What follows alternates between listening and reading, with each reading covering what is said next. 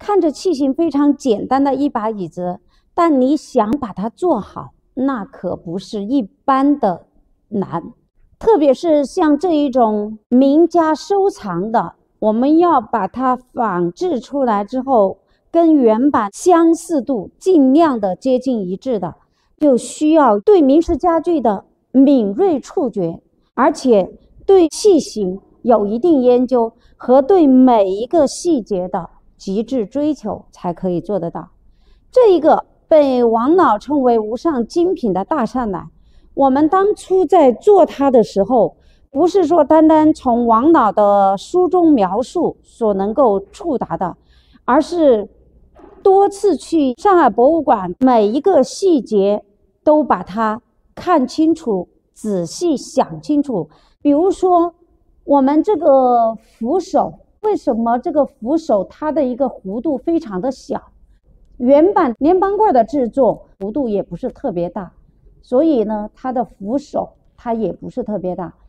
然后它底部的一个脚秤，步步高的一个创作手法，而且你看它脚秤还用了大木梁的一个手法，直接全部穿透，韵味十足。整个的扇面就是它的一个非常重要的一个部分。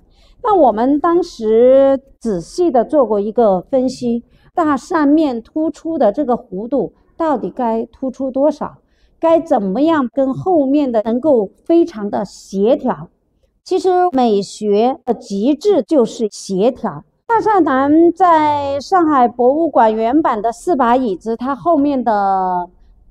浮雕牡丹雕刻，每一朵都不一样，而我们选取的这一朵可以看出来，多层绽放的这一个牡丹花，花开正艳丽，永不败露。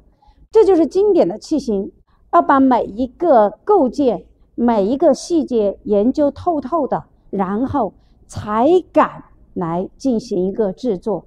这样子做出来的家具，不单单只是一个。